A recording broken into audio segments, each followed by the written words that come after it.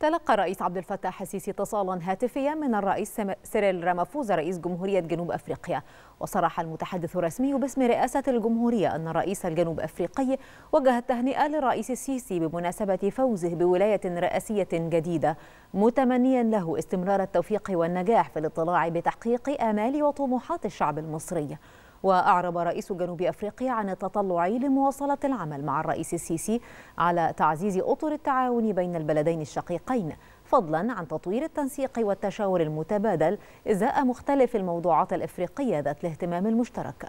ومن جانبه أعرب الرئيس السيسي عن التقدير لأخيه الرئيس رامافوزا مؤكدا الحرص المتبادل على تدعيم العلاقات الثنائية وتفعيل جميع مسارات التعاون بين البلدين الشقيقين على مختلف المستويات بالإضافة إلى تعظيم التنسيق وتبادل الرؤى إزاء القضايا الإفريقية المختلفة بما يدعم مسيرة العمل الإفريقي المشترك.